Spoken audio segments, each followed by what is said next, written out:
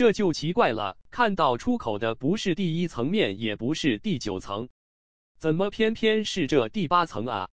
胖子问道。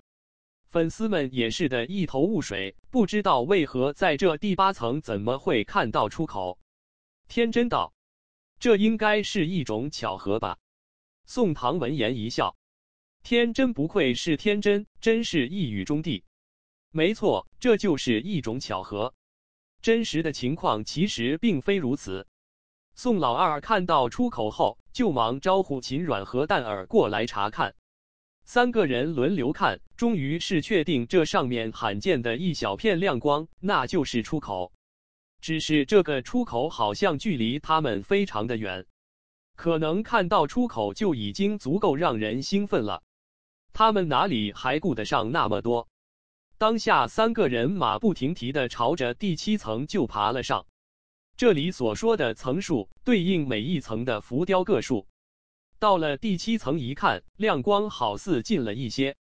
他们紧跟着往第六层上爬，后是第五层、第四层、第三层。他们爬得快，可头顶上的出口亮光却是根本没什么变，永远都是这么大，就好像是一处永远无法触碰到的海市蜃楼一样。当他们从爬到第一层的时候，头顶上的亮光还在，且已经变得比前更加亮了，显外面天更亮了。可他们却是永远就是够不到这个出的洞口。三个人有些绝望，秦软更是身心俱疲的瘫坐在地上，说道：“这就是一个我们永远都追不上的出口，我们肯定要死在这里了，和当初罗巴头的那些手下一样。”被困在这里，永远和这些海沙为伴儿了。说住，秦软的眼泪就忍不住的流了下来。宋老二叹了口气，一时间也不知道该说些什么。蛋儿是个很接的人，此前没有看到出口，他有些害怕；可此时已经能看到出口，却是始终追不上，这就让他有些恼怒了。二哥，要不我们继续炸？打不了，把所有的墓室都炸塌了，我还不信我们出不？你疯了！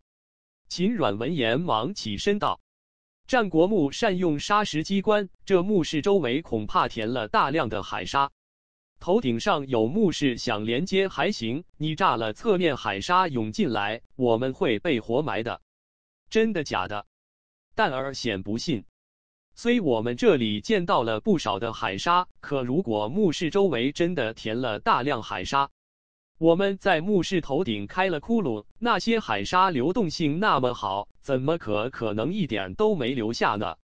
说住，蛋儿照了照地面，让两人看，这地面上果是没什么海沙，就算有，也是非常少的一两颗。宋老二听着他们两个人的对话，总感觉好似抓到了一些什么线索。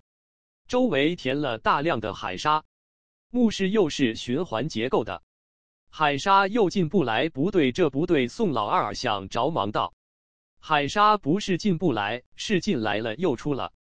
你们想，我们第一次进来第八层的墓室里，地面上有一片沙堆，是从入口滑下来的。”我们第二次进来，地面上也有沙堆，可后来就没了。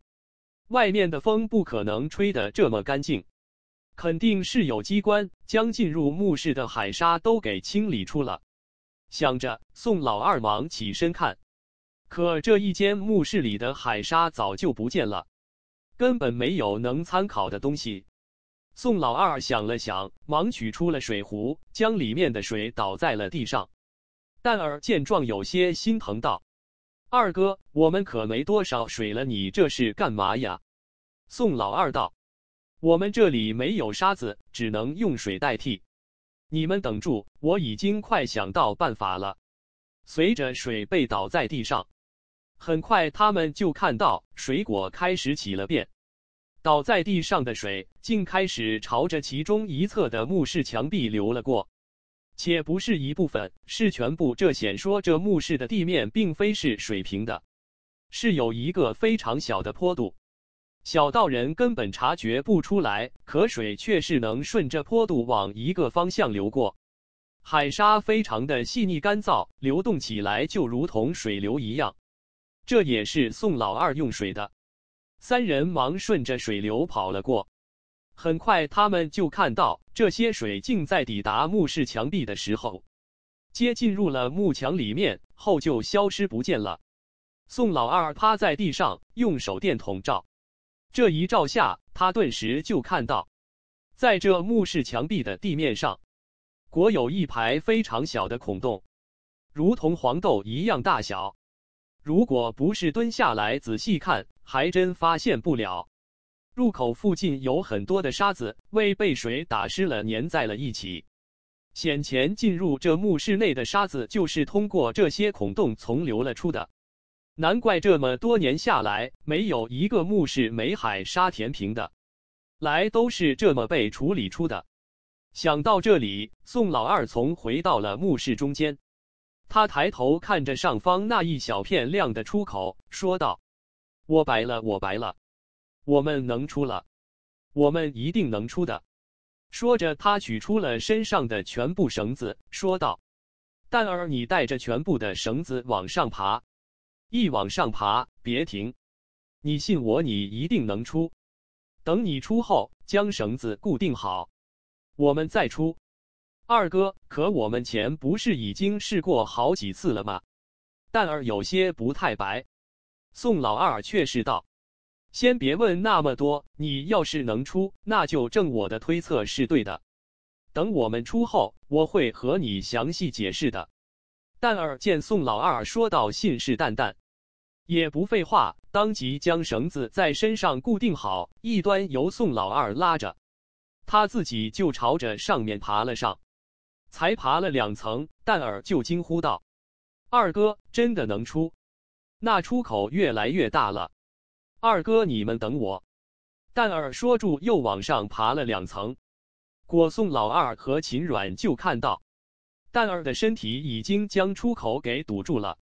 等出口再次出现的时候，蛋儿已经出现在了出口外面，只有一个脑袋从外面看着他们。二哥，我出来了，绳子也固定好了，接下来怎么办？蛋儿在上面喊道。宋老二喊道：“拉秦软上。”同时他看向秦软道：“记住了，拉住绳子。”不要踩这里的任何东西，尤其是地面碰到没关系，不要踩也不要压，不要借力让蛋儿把你拉上。秦软虽不知道为什么，可还是点了点头，问道：“那你怎么办？”宋老二道：“等你们上后再拉我上。”秦软虽有些担心，可也知道这时候已经没有其他办法了，只能点了点头。蛋儿的力气很大，仅仅用了十分钟就将秦软也拉了出。最后是宋老二、蛋儿和秦软一起动手，将他以同样的方式给拉了上。当宋老二从出口里钻出来的时候，外面的天色已经大亮了。他躺在地上，呼吸诛仙的空气，整个人顿时就笑了。秦软眼睛红红的，没好气道。你还笑？我们差点就要死在里面了！我不管你不准再盗墓了，跟我回家。宋老二闻言却是也不答，只是躺在那里傻笑。秦软气的没好气，拧了他一下。你好笑，被你气死了。蛋儿在一旁也是傻笑，问道：“二哥，这底是怎么事啊？你是你怎么知道我能趴上来的？”宋老二笑道。我当然知道，为我经明白了这机关底是怎么事了。我笑一是为我们都活着出来了，二就是我经搞清楚了这里的机关特点，再也没有什么能阻拦我到了这座古墓了。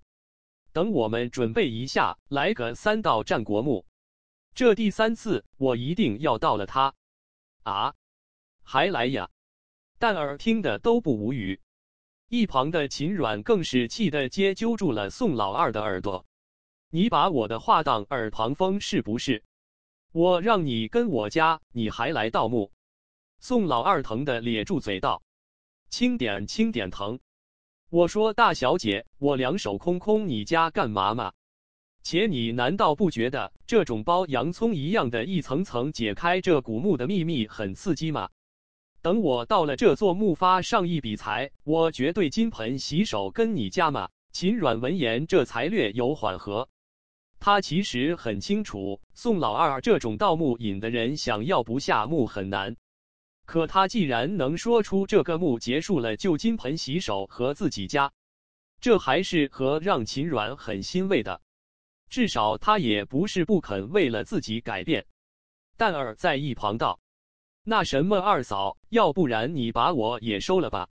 你看你们家还缺什么伙计？打杂、烧火、打架、耍流氓，咱都会。”秦阮闻言没好气道：“那你就帮我劝劝你二哥，年纪轻轻的怎么就非要盗墓呢？”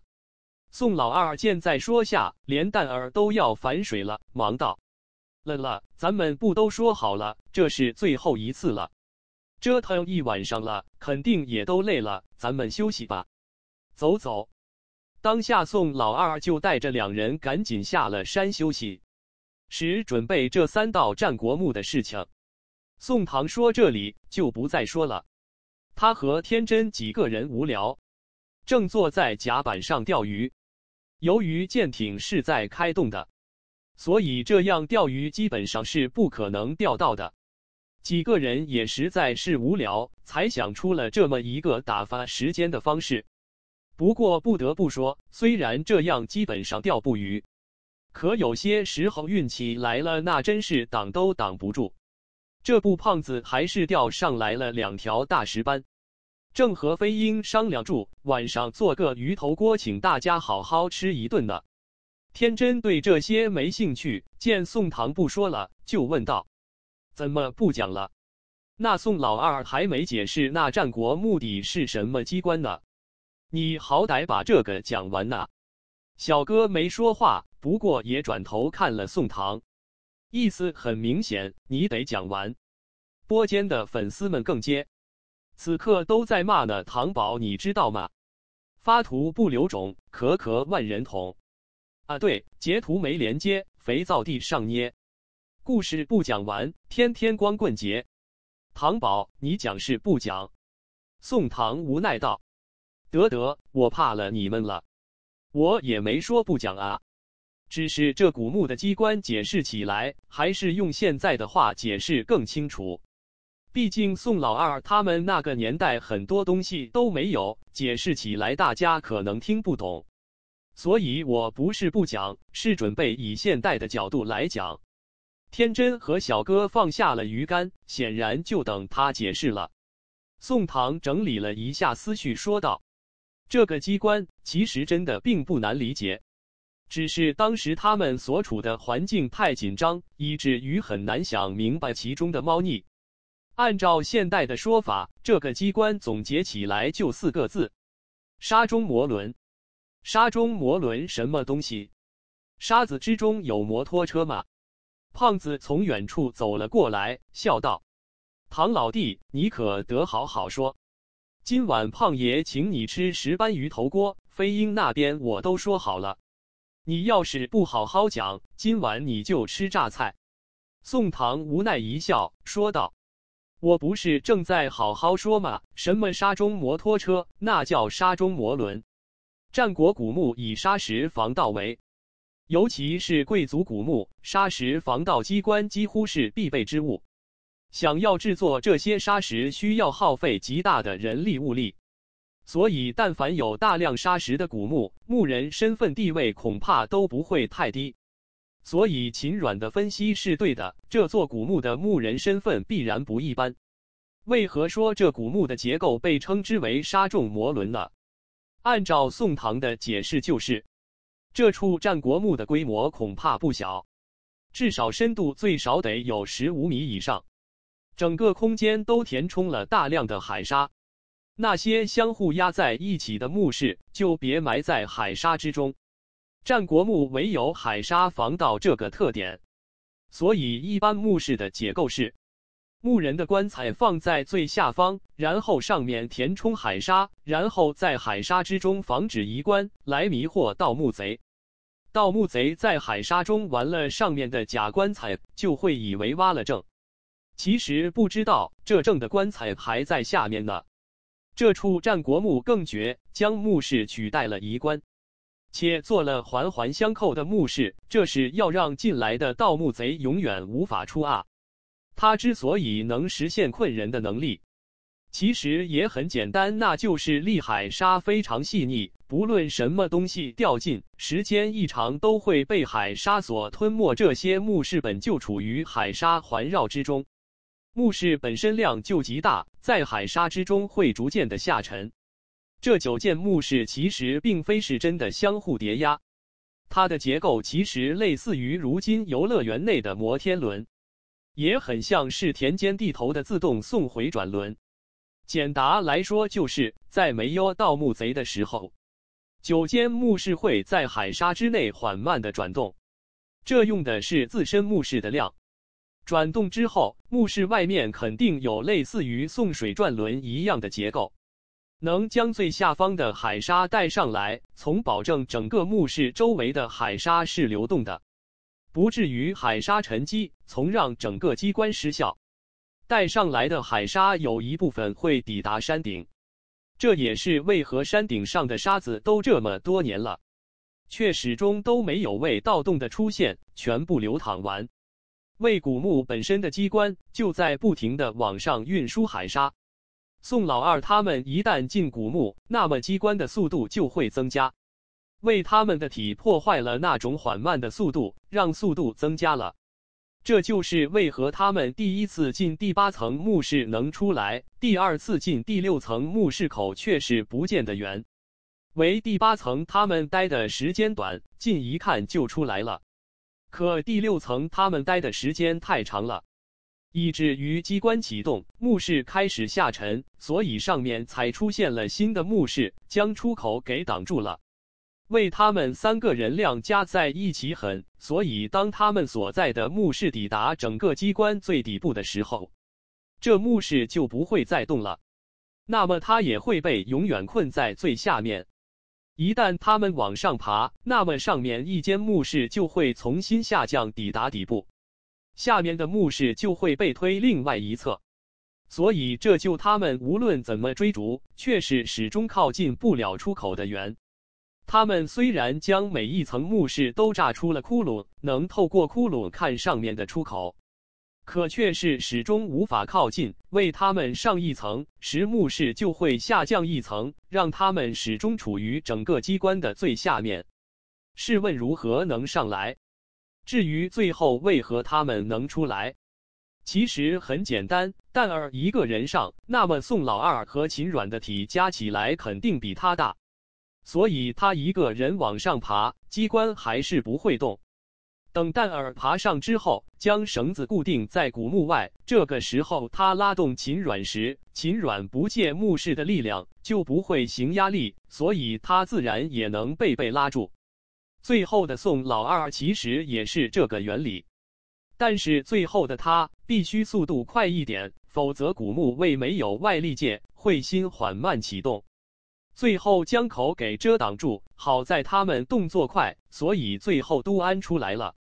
说这里，宋唐深吸了口气道：“事情就是这样，这种结构类似于摩天轮，只不过是在海沙，所以称之为沙中摩轮。你们明白了吗？”我好像白了。胖子抽住烟，一脸无奈，显然他还是不太白。宋唐看了一眼直播间，发现粉丝们也是有很多人不太懂，不过还是有一些思维敏锐人跟上了宋唐解释，白了他意思。天真显然也白了。至于小哥，他倒是没说话，不过正在正在专心钓鱼，显然也是惊白了。宋唐看着直播间笑，这一个故事都讲了好几天了，天我们就要抵达墓的了。我就不解释了，没听懂朋友可以在直播间问问其他人。天真问：“这故事恐怕还没完吧？”宋老二显然还是准备继续。这三道战国墓什么时候讲？另外之前提到那公子气急所用妖术，你也没说呢。宋唐闻言一笑说：“没错，三道战国墓肯定是有。至于这公子气急妖术，其实也没什么。不过还是等有空讲三道战国墓时候再说吧。我们天就到地方了，这里距离沉船位置经不远了。今晚吃个鱼头锅，好好休息一下。剩下等到了古墓里，我找时间和你们说吧。”宋唐讲了两天，也着实是口干舌燥，现在说话嗓子都有点疼。毕竟不是专业播音员，说这么多话难免。好在故事经暂时告一段落，天真也就没再强求，几个人就专心钓起了鱼。下午时候，胖子又收获了一条大肥鱼。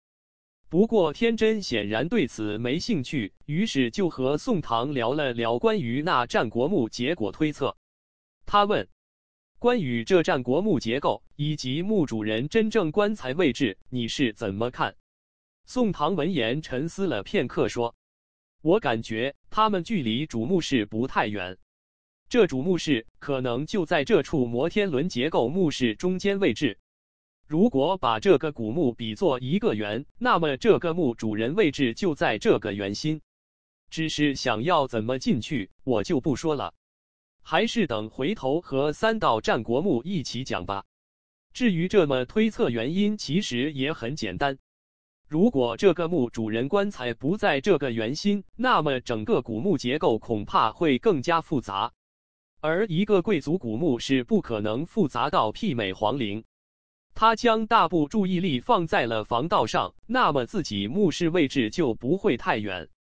不然，当时皇帝要是知他建了一个媲美自己皇陵古墓，皇帝能乐意？天真闻言点头，也觉得有理。只是想要知具体情况，还得等了。以及那公子气急妖术到底是什么？这些恐怕只能等宋唐回头讲述三道战国墓时候才能知了。众人难得放松，于是剩下时间便没再讨论关于战国墓事情。其实宋唐讲述这些，也只是为了表达为何他这才非要携带这诡计仪罢了。而听了这么久，天真似乎经有些能理解了。不够，对于胖子要求自然不能太高。这家伙始终就是想不通，为何探墓还得准备这么高科技产品。于是就问。唐老弟，恕我直言呐，我还是不太白。你说这古墓诡异，难这所谓诡计仪就能破解吗？这是个什么理？难三维建模就不吗？直播间粉丝们大部都和胖子是一个想法，闻言也都很是好奇。宋唐苦笑，这个事情我现在和你们说，却是显得有些苍白。不如等咱们到了地方，实地给你们演示一遍，到时候你们自然就清楚为何要带着轨迹仪，而不是选择三维建模设备了。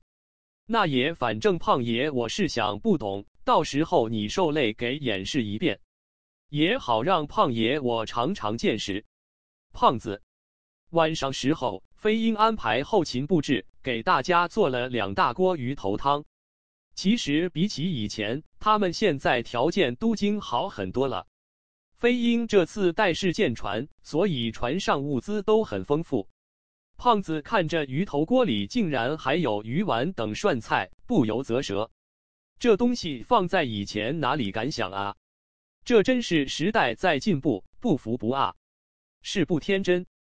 天真闻言也是无奈苦笑，想起当初他们第一次来这里时候。连船都是破破烂烂，再看看现在这满是高科技舰船，真是不服不鱼头锅一共做了两大锅，飞鹰等人一锅，宋唐几个人一锅。这也不是恐，主要是飞鹰等人要轮流巡视，所以那他们那边单独做一锅也方便。而且宋唐几个人在一起聊天，有些事情还是不太方便直说。所以只有他们几个人也会更加方便。这吃一上桌，话就少三。胖子拿了瓶从飞鹰那里要来白酒给众人满上。天就要抵达墓的了，所以今晚众人还是很放松，便都多喝了几杯。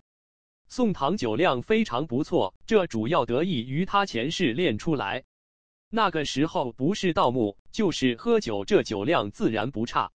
胖子和天真虽然也不错，可在宋唐和小哥面前，最终还是败下阵来。尤其是胖子，没多久就跟死猪一样躺在了甲板上，打起了连天呼噜声。天真很快也钻进了睡袋里睡了起来。宋唐见状也懒得去收拾残局，找了个睡袋也睡了进去。倒是小哥靠在一旁甲板上，也不知在想什么。他这样职业宗人员，宋唐自然不会多管。有时间去考虑他安慰，不如考虑考虑自己怎么办。这是宋唐对他态度，因为这种人根本就不需要他去操心。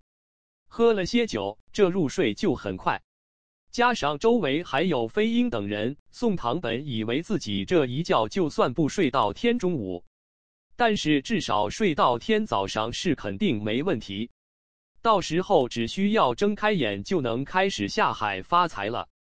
结果谁知，就在他睡正酣之时，忽然却是感觉到有人在推自己。宋唐自从开始下墓，除非是在酒店里，否则是根本睡不深。被人一推，立刻就惊醒了过来。他忙坐了起来，顿时看到一旁小哥正在推天真和胖子。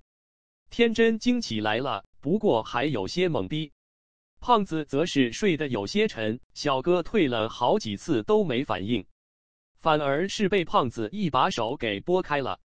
小哥见状也不再管他，跑了过来，低声：“那边有情况。”宋唐此时经彻底清醒了过来，忙顺着小哥指方向看了过去。这一看之下，他也不由脸色一沉。只见整个舰船之上，不知何时竟然灯光大部都灭了，只有在舰船甲板最前方有一盏发黄灯泡还亮着。宋唐听飞鹰说过，这是警示灯，拥有单独电路和发电装置，哪怕整个舰船都没电了，它还是有电，所以不论什么情况下，这警示灯都不会关闭。可现在是什么情况？为何其他灯都关闭了？而且怎么没听到有人在巡视声音呢？我说，底什么情况？天真此时也不由紧张了起来。眼看就要抵达墓地了，怎么还出了这？不过想想也是，越是靠近墓地，就越是不能放松。毕竟那沉船海底墓诡异，他们可是早就知道。而且当初铁三角出来之时，将海底墓给炸了。如今海底墓底有多少邪祟跑了过来，根本就没人知道。保不齐他们这就是撞邪了。小哥似乎也不清楚发了什么。只是一直看着黄色警示灯方向，似乎那边有什么动静。宋唐见飞鹰等人不见踪影，此刻也顾不得那么多了，当即招呼道：“我们先躲起来看看情况再说。”说着，他就招呼小哥和天真一起躲在了甲板上水箱后面。这水箱大，三个人缩在后面，只探出了头去看警示灯。这一看之下，他们都有些傻眼了。只见胖子还在睡袋里鼾声如雷呢。他们跑过了，竟是把胖子给落在了那里。天真刚想过去，忽就被小哥一把按住了。几乎时，宋唐也看一只漆黑手，竟从舰船头部外面探了出来。那只手漆黑无比，就似上面裹了一层黑色淤泥一样。那手牢牢抓着舰船边缘围栏，时他们就听了一连串咕咕咕声音，那声音就像蛤蟆一样，非常难听。天真看有些急了，牌子睡袋位置就距离那边不远，最多也就六米样子。要是这个时候再过不去，等那些东西爬上来了，谁知道会发什么？而小哥却是按着他死活不让他过去。这个时候一旦过去，谁知道会发什么？要是打草惊蛇之后，那东西因为害怕直接跑了，还可要是那东西悍不畏死，直接冲上来，那天真不就倒霉了？宋唐见状，从一旁抓过了一条绳子，那绳子是用来固定东西。宋唐快速将绳子解开后，从水箱一旁折断了一条铁丝，将其拧成了一个钩子，绑在了绳子上。在他甩动之下，快钩子就甩倒了胖子睡袋上。他运气还不错，钩子在滑动了一下之后，果勾住了胖子睡袋。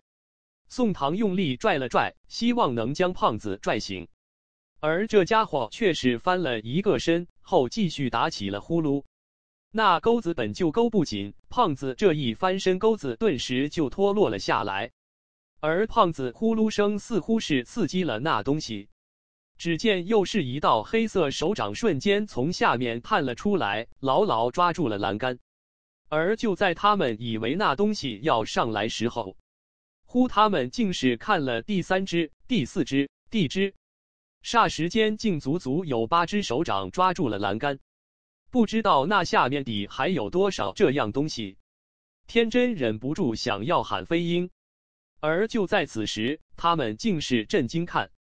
数道黑影竟直接从舰船之外跳了上来，那东西体型的比一个成年人都高，而且一下子竟跳上来了足足四只。那边只有一个昏暗黄色警示灯，根本就看不清楚那底是什么。可一下上来四只河也太害人了。小歌手已经摸了后背上那柄有些短骨，显随时都会动手。宋唐摸了一遍，心中苦。他身上竟没有能用趁手家伙。他们看着那边一动不敢动，而那边四道黑影却是已经被胖子呼噜声所吸引，竟悄无声息朝着他那边就摸了过去。这一下，众人不由紧张了起来。这死胖子怎么一关键时刻就掉链子？人家都快能摸他脑袋了，可他竟还浑不知。由于那些东西已经上来了，示意宋唐等人更不敢妄动。这个时候一旦被发现，爆发一场恶战恐怕是在所难免。而最重要是，胖子还在那边，他们一旦开打，胖子恐怕根本反应不过来，就得中招。就在他们心急如焚时候，呼！宋唐却是看，黑暗中，其中一只东西竟朝着胖子脑袋凑了过去。在警示灯照耀下，他们这次看一清二楚。那探出头东西果不是人，而是一种通体长柱、暗绿色皮肤怪物。那东西耳朵似豁口，嘴巴也有裂痕，嘴里满口獠牙，只是看着都让人心惊胆寒。而天真看这东西，瞬间整个人就懵了。他忙看向了一旁小哥，眼中满是不敢置信，仿佛在说：“你认出来了吗？”这东西我们见过，是海猴子。小哥示意他别着急，这个时候一旦乱动，恐怕胖子就得遭殃了。宋唐虽不知道那是什么，可心中却是已经猜测八九不离十了。能让天真有如此大反应，这东西除了是他见过，还能是什么？而当初来海底墓时候，他们见过这种怪物。恐怕也就只有海猴子和这东西最为贴切了。只是宋唐不明白是什么时候海猴子竟开始组队动了，而且还一下来了四只。难道他们是来找天真报仇？当年天真他们杀那只，难道是他们老爹爷爷之类？那这可真是冤家路窄呀！就在他们心中焦急该怎么办时候。呼！胖子竟在睡袋里发了个非常响亮屁，而几乎时那几只海猴子竟都被他那屁动静给吸引了过去。其中一只距离他最近，海猴子更是直接抬起了墨绿色手臂，似乎随时都会抓下去。这海猴子虽体型和人像，可它毕竟不是人，这一爪子要是下去，恐怕就算胖子不死，也得脱一层皮了。几个人看心急如焚，可却是偏偏根本就没有办法。此刻他们一旦出去，恐怕只会更麻烦。毕竟他们首先要保证是胖子安全。如果无法保证胖子安全，那其实还不如不出去。毕竟就目前而言，这些海猴子并没有伤害胖子，而众人知道这种情况不会维持太久。因为其中一只海猴子已经探出了那尖锐爪子，朝着胖子肚子附近凑了过去。他时好奇，这底是什么东西？怎么睡觉时候还在上下动呢？眼看那海猴子锋利爪子即将就要刺下去，以他那爪子锋利程度，这一下要是下去，恐怕胖子瞬间就得被开膛破肚了。小哥已经将后背上骨拔出来了一寸。整个人也紧绷了起来，显随时都会动手。而就在这千钧一发之际，忽只听砰砰砰数道枪响猛响了起来，几乎十宋唐就看那只海猴子手掌顿时就被打爆了。黑暗中数道如火蛇一样东西一闪而过，这显示有人开枪了，而且还不止一枪。三道枪声响起，顿时其中两只海猴子已经倒在了地上，另外一只手掌也没了，只有一只没有中弹。此刻这两只海猴子转身就要跑，可跟着又是两道枪响，顿时那两只也中了弹。可惜他们已经跑了甲板边缘，中弹之后直接就掉进了海，不见了踪影。宋唐转头看去。只见瞬间，整个甲板上灯就亮了起来。石飞鹰等人正站在不远处，冲着他们打手势呢，似乎在示意他们没了。天真忙跑了过上，就是两巴掌，将胖子给打醒了过来。胖子坐了起来，看着天真，还有些懵逼。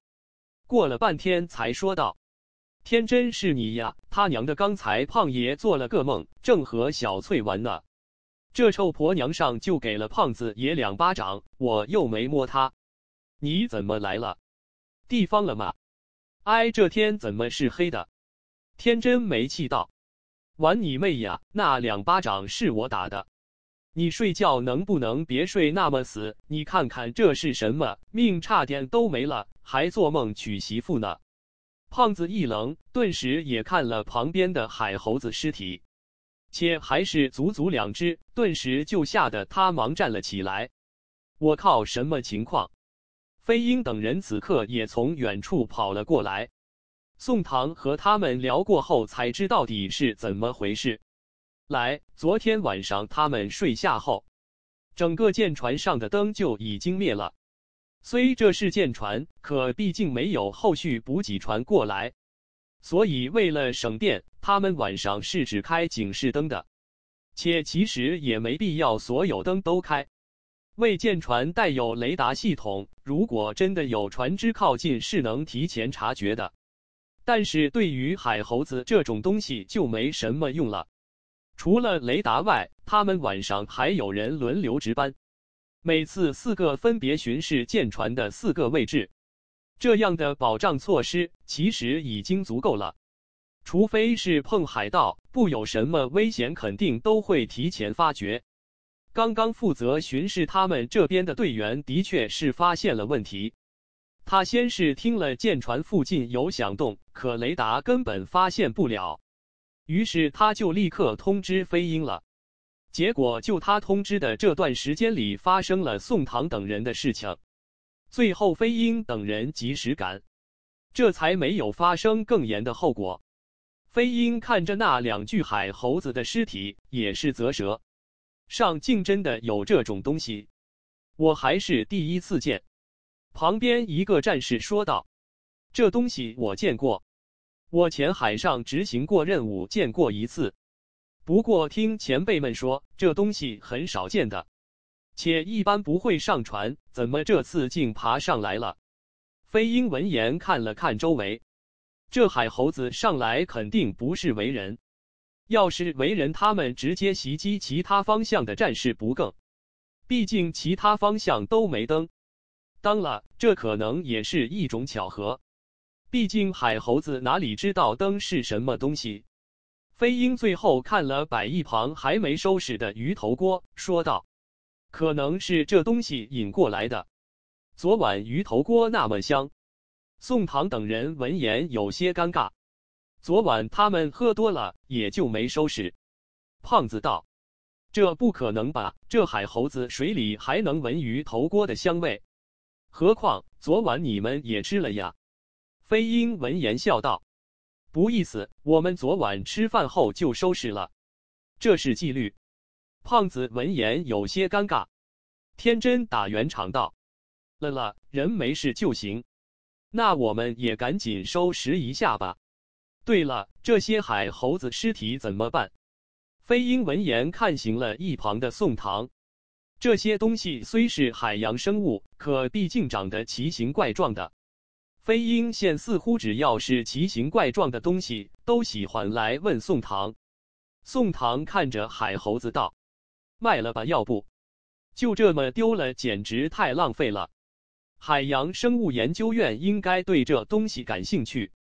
等天亮了，我问问，要是能卖了时候就给你们。”飞鹰摇头道。我们有津贴，这个就不必了。宋唐道：“别别，要不是你们出手，胖子可能就要这里被开膛破肚了。这东西卖了，钱必须得给你们。且我们了地方东西自不少，也不缺这些。”飞鹰兄弟这要是还推辞，可就见外了。飞鹰见状，也就没多说，谁会和钱有仇呢？宋唐有一交，他自也就没推辞。行了，你们两个将这海猴子尸体收拾一下，交给唐老弟。旁边两个队员听有钱分，也不由来了劲。他们上前将两只海猴子尸体抬了起来。这家伙的尸体急，两个人也只能勉强抬起来一具。就他们将其中一具海猴子尸体抬起来的时候。忽一道黑影竟从那海猴子的后脖子上飞快的冒了出来，那黑影速度极快，几乎是瞬间救了其中一名战士的胸口，且竟还往上爬。那战士吓了一跳，忙松开了海猴子。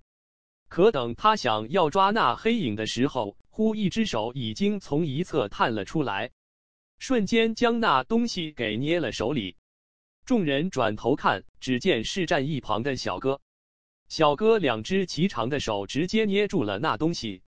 众人定睛看，这才发现，小哥捏住的东西竟是一颗只有拳头大小的人头。那人头上面五官分明，甚至还有嘴巴。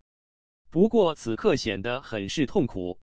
这脑袋两侧还长住两只干瘪的手臂，此刻已经抓了小哥的手臂上。可他根本就挣脱不开，脑袋被拿捏住，连力气都使不出来。天真看这东西，惊呼道：“人面莲，怎么是这东西？”人面莲，胖子闻言也是一愣。宋唐不由得来了兴趣，示意众人让开。他独自将另外一只海猴子也翻了过来，果顿时就看这只海猴子的后脖梗上果也趴着一只奇形怪状的东西。那东西看宋唐，当即就要跑。宋唐哪里会让他跑掉？学着小哥的样子，直接捏住了那东西的脑袋。果那东西的手掌虽拍打，可并没有什么力气。宋唐将那东西捏自己的面前仔细看，这才发现这人面脸所谓的五官，其实就是五个窟窿，只是长得很像是人的眼睛、鼻子罢了。只有其形，并无其神。天真道：“我曾听人说，这人面脸是一种蛊，要不还是丢回海里吧。”胖子闻言道：“听谁说的？不会是阿宁那个臭婆娘吧？她的话你也信？这种药吗？”天真反问道：“难不成你还留着这东西将彩礼娶媳妇啊？”胖子闻言顿时笑了。哎，天真，你还别说，你这话提醒我了，我们可以把它卖了呀。这玩意如此罕见，生物研究院的人肯定喜欢。唐老弟，你说是不是？宋唐闻言笑道：“没错，英雄所见略同。送上门的钱都不赚，那不是吃饱了撑的。且我感觉这些人面连的出现不是巧合，我们距离沉船木越来越近了。”这东西估计也和沉船木有关，我们还没，这货就开始上了，恐怕这次想不发财都难呐。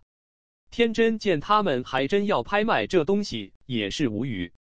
不过他也懒得管这东西，只要逮住了也就那样。宋唐和胖子一合计，当即让飞鹰安排人找了几个玻璃瓶过来，将人面脸给塞了进后，将海猴子的尸体整理。此时天还没亮，直播间大部分人都睡觉，这拍卖嫌得等天亮后才能进行了。不过今晚经过这事，飞鹰等人嫌也没心情睡觉了。于是就招呼宋唐等人休息。天亮后了，地方就该他们忙活了。这夜还是他们由他们来守的。宋唐也不矫情，当即就带着天真等人回了船舱里休息。虽这里比较闷，但是也过外面碰海猴子偷袭呀。早上宋唐起来的时候，胖子和天真经早早的起来了。可能是知道今天早上要卖货，所以胖子这家伙比平日倒是勤快了许多。只是宋唐有些无奈，难道这胖子还以为这海猴子和人面莲会很值钱吗？这东西并非什么古董玩物，也不是什么奇珍异宝，其价值宋唐看来恐怕不会太高。尤其是那海猴子。民间早就有其的传闻，虽然大家都几没见过，可这东西也就是看个新鲜劲。等这新鲜劲过了，谁还会选择花钱来看？所以这东西最终的去处还得是海洋物研究所，价值自然也不会太高。至于这人面莲，倒是更加少一些。可说到底，也只是一些奇怪的海洋物，其价值也恐怕不会太高。参考当初秦岭的吃骨卖出去的价格也才每只五万，这人面莲的价格恐怕也就这样了。洗漱完毕后，宋唐便上了甲板。胖子竟是京江拍面的场地都布置了，就差宋唐来卖货了。天真则是拿了些吃的递给了宋唐，说道：“我问过飞鹰了，一个小时后我们就能抵达目的地。”考古队的船慢我们三个小时，等我们探明了那沉船的位置，他们也就可以开始工作了。宋唐点头，这考古队都是很注意分寸，没有接和他们同行。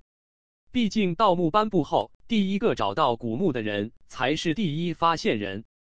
如果这些考古队的人和他们同行，到时候发现了这古墓，他们要是非要硬说是他们发现的，这情可就解释不清楚了，所以跟后面也能狠的避嫌。至于飞鹰等人，宋唐自然相信他们不会来争抢这些。作为训练有素的退伍兵，宋唐自然不会怀疑他们的作风。简单吃了些东西，宋唐便准备开始卖货了。播间一晚上都没关，此刻播间很多粉丝都讨论昨晚发的情。昨晚知道这情的粉丝也不少，可大部分都是休息，所以早上起来后，这情才开始发酵。尤其是听说昨晚宋唐他们猎杀了两只海猴子，还找到了什么人面莲，这让很多金主都早早的过来蹲守了。宋唐甚至看到了大金牙和明叔以及琉璃孙，不过乔二爷倒是没看到。想来他可能知道这次卖的东西不是玉石，所以就没来。对此，宋唐倒是没什么。本身这次拍卖的东西就是开胃菜，算是为这次海底墓先暖暖场，所以来的人不全也没什么。唐宝，你昨晚没吧？是了，唐宝，早上起来听到昨晚你们出，我都担心死了。谁不是啊？太吓人了，简！没想到这世上真的有海猴子啊！对呀，话说那人面莲又是什么东西呀？见播间的粉丝们一个个还后怕。宋唐笑道：“我没飞鹰，他们技术很过硬，解决那些海猴子没什么。至于这些是什么东西，还是等会拍卖开始再说吧。我先准备一下，咱们十分钟后开始拍卖。”宋唐说完，就招呼胖子先和播间的粉丝们聊天，他则是来到了昨晚捕的的海猴子和人面莲前。既然要卖货了，自然是少不了系统的一番探查。自己的估价只是自己目前经验的积累，这东西准确的价格还得靠系统来给，而且系统还能检测出这东西的出处来历，说不定还能看到一些意外的信息呢。想和宋唐便没再多等，看了海猴子的尸骸，而很快海猴子的信息也就冒了出来。物品名：海猴子尸骸，价值预计一万只。来源：一种火海中的海兽，其形如蛟，其貌如人，凶残嗜血，麒麟可药。看着介绍，宋唐不由得啧舌。果然和自己推测的差不多，那么这人面莲的价格看来也没跑了。想着，宋唐看了一旁装玻璃瓶内的人面莲，物品名：人面莲。价值预计五万只。来源：一种可水中活的蛊虫，可通过附着宿主的后脖梗，从而控制宿主的动作，有一定危险性。果然，和秦岭时候碰到的尸骨价格一样，这种蛊虫每只能给到万的价格，经算是不错的了。毕竟这种东西的数量亦都不少，只是由于火海中，所以平日并不太能经常碰到罢了。心里有了数，宋唐也就没耽搁。此刻，胖子经和粉丝们聊了很久，于是宋唐就冲着他做了个手势，示意可以开始了。胖子点头笑道：“那什么，接下来胖爷就先不和你们砍了，咱们马上就要抵达目的了。此前，咱们先拍卖一些小东西，暖暖场。有兴趣的老板们可以关注一下。”说罢，胖子就招呼宋唐上场。这也不是第一次卖货了，宋唐也早就有了经验。他接将后面的海猴子尸体让了出来，然后笑道：“咱们这第一件拍品便是这海猴子尸体，一共两具，每具起拍价一万，可以一起打包，也可以只要一具。有兴趣的老板可以开始考虑了。”随后，他又将另外一侧的人面莲也让了出来，解释道：“这是人面莲蛊虫的一种，可以遥控宿主，所以想要购买的得自己小心点，不然要是买回去被他控制了，从而做出什么奇怪的情，那可就不了。这人面莲的起拍价五万每只，和海猴子一样，也可以打包或者单卖。”有兴趣的老板可以考虑了。宋唐说完便不再多说，该说的也都说了，剩下的就看谁有兴趣了。其实宋唐感觉这东西最后大概率还得是官方接手，毕竟明叔这些商人唯利是图，这种东西的价值并不长久，而且出售价并不高，所以就看他们愿不愿意折腾了。举个例子，这海猴子可能很多人都想看，而播间经满足了很多人的奇心。那么一旦有人买回去作为展览品出展，这个时候想看就要收费了。投资万，可能展览时间长点还能转回来。可问题是，你后续需要投资的并非只有万。海猴子尸体极容易腐烂，买回去还得做防腐处理。还得制作展柜，将来全国各地到处跑的展览，这都需要成本。哪像青铜鼎往博物馆一放，只能游客自己来看，这其中节省了多少成本都是不能细算的。果然，宋唐说完后，播间就没人说话。过了一会，大金牙才播间说道：“唐老弟，恕我言哈。”这海猴子的尸体我们买回来，虽然不至于赔本，可其实是赚不了几个钱的。倒是那人面莲，你要是能将其养法附赠给我们，我们可能会收。毕竟这死了的东西和活着的还是有些差距的，你说对吧？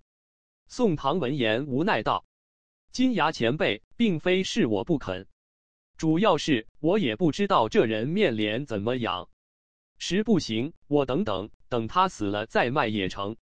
大金牙苦笑道：“这死了可就不值钱了。实话实说，你这个是直播，这种充满神秘色彩东西，经过了直播，本就没有多少人愿意花钱去看了。”所以这东西买回来，其实根本赚不到钱。金牙，我说话直，唐老弟，你别介意哈。我觉得你不如联系一下纪念小姐姐，这种东西卖给官方研究所还是有市场。宋唐点头，大金牙这话是实话，他也是这么想。只是纪念小姐姐一直不说话，宋唐也不知道她是否在看直播。没想到大金牙话语刚落，纪念小姐姐果然就出现了。我正在联系海洋研究所，这东西他们会感兴趣，只是不知道养活之法。这人面莲买回去岂不是也会死吗？价值倒无所谓，可对于研究来说，如果能养着他们，那研究价值也会更高一些。宋唐点头，这事情我也实在是没办法，我毕竟不会养蛊。不如这样，你们先买回去，这东西短时间内肯定不会死。你要是担心，就买几只猪，让它趴在猪脖子上，这样应该能多坚持几个月没事。期间可以在全国征集养蛊之人，让他们给你们出谋划策，如何？纪念点头，觉得这是个办法。既然这人面莲擅长趴在宿主后脖梗控制宿主。那想来买几头猪给他玩着，应该不会这么早就死掉。龙国奇人异事众多，只要耐心找找，应该还是能找到一些知道怎么养活人面连奇人。心中有了决断，纪念也就没再耽搁。本身这人面莲和海猴子也就不值多少钱，和之前他们购买东西相比，简直就如同是赠品一样。且说句不好听，就算这人面莲真死了，又能如何呢？这东西本身就具有一定研究价值，就算真死了，它本身研究价值也还在，又有什么可担心呢？这东西我们要了。纪念小姐姐说道。宋唐见状一笑说道：“还是纪念小姐姐爽快。”既然官方购买了，那就等后面考古队赶上来之后，直接将这东西给他们了。他们应该有保存办法。嗯，纪念点头。至于拉回去之后是新给海洋研究所，还是怎么处理，那就不是宋唐要考虑事情了。他只管找东西卖东西，从来不管如何运回去。这事情和他无关。宋唐这边刚刚将标签纸写好，贴在对应物品上，忽然舰船上就传来了飞鹰广播声：“唐老弟，请注意！唐老弟，请注意！我们木的到了。”听到这声音，不光是宋唐几个人，连直播间粉丝们都激动了起来。等了好几天，他们终于是抵达了指定海域。宋唐看向胖子道：“搭把手，把东西收拾一下，我们去看看。”胖子点头。几个人你忙将直播场地收拾好，然后就朝着甲板前方跑了过去。此刻甲板前方，飞鹰带着几名战士正站在这里，在他们前方能看到仍旧是一望无际海域。不过这一片海域颜色分比之前深了很多。这种颜色海域一般只有两种情况会出现：第一就是这海域之下有非常深沟壑；第就是这海域之下有巨大东西。只是肉眼想要看清楚，显然不太现实。几个人跑过来时候，就看到飞鹰手里拿着一个平板电脑，那上面正显示助探测出来画面。飞鹰道：“根据雷达探测显示，这海域下面有很多沟壑，其中一处沟壑里面似乎有东西，但是沟壑太多，对雷达信号影响很大，具体无法探查清楚，需要下水去看看。你们要是不着急，我可以先带人下去。”宋唐闻言忙道：“这就不用了，既然已经抵达了目的，那么剩下事情就是我们了。”且发财人是我们，让你们去冒险说不过去。海猴子和人面莲已经卖了，钱我会在出发前转给你们。至于这后面，既然货是我们，那去承担这风险自然也得是我们。飞鹰闻言点头，也没再多说。他知道宋唐不是那种小气人，这么说也是真不想让他们去冒险，并非是担心他们抢东西。事实上，飞鹰也不想去，毕竟他根本不懂盗墓技术，带着自己队友下去，一旦碰到危险，可能会很麻烦。宋唐能清楚这一点，他反和欣慰。和聪人心谈，从来都不需要将事情说很透彻，三言两语，对方就能你想要表达意思。当下，宋唐三人就回去准备装备，同时将人面莲和海猴子钱给了飞鹰等人。这些东西本就是飞鹰他们打到，自然得分给他们。装备很多，尤其是这次下去，他们还要提防禁婆。所以还得携带携带型喷火器、防狼电棍以及轨迹仪等等。等他们将准备全部准备妥当之后，几乎每个人都处于满负重状态。好在等到了水里，这些负重也会相对轻一些，只是动起来可能就没那么敏捷了。几个人将装备检查了好几遍，确定没有遗漏之后，宋唐这才看着直播间说道。我们这边已经准备好了，这就准备下去。按照之前想法，这海底墓可能有一部分地方处于未曾被水淹没区域，所以我大概想了一下，将海底墓拍卖范围划分为淹水区和普通区。稍后我们会先经过淹水区，之前我讲述什么云顶模型、做金身。以及那什么青铜铃铛、珊瑚树等等，可能都处于淹水区内。